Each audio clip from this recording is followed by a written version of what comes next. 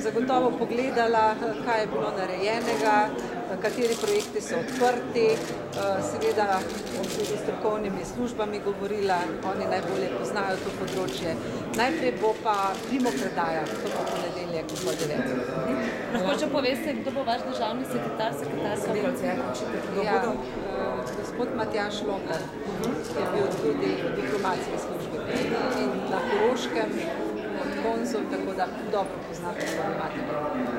Ja, hvala. Hvala.